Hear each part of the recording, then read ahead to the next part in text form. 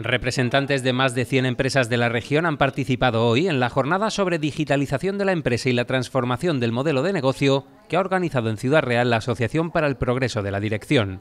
Un foro en el que se ha incidido en la importancia que tiene asumir los nuevos retos para el futuro de los negocios. Cuanto antes seamos conscientes de esa transformación, cuanto antes seamos conscientes de esa realidad que es ya en, muchas empresas y que está evolucionando a nivel eh, pues muy alto, pues antes podemos adaptarnos y transformar nuestros negocios. La jornada de hoy, distintos expertos pues nos están poniendo eh, la realidad de esta, nos están haciendo ver la realidad de esta, de esta tendencia que hoy es en día es eh, bueno pues todas las empresas deberán evolucionar de alguna u otra manera a la digitalización. La alcaldesa de Ciudad Real ha sido la encargada de clausurar la jornada. Pilar Zamora ha abogado por la necesidad de la digitalización de las empresas para poder ser punteros en áreas tan importantes como la internacionalización de cara al futuro desarrollo empresarial. Y sobre todo es esencial también en esa externalización, en esa internacionalización de las empresas. Ciudad Real es una ciudad de pyme, pero es una ciudad con empresarios y empresarias sin complejos, que queremos ser punteros en el desarrollo de nuestra provincia y desde luego de nuestra región.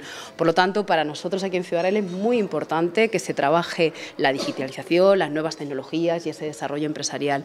La transformación del modelo de negocio que han supuesto las nuevas tecnologías y la digitalización ha sido abordada por diversos expertos expertos a lo largo de la jornada haciendo hincapié en la necesidad de avanzar en esa dirección que hoy tienen todas las empresas.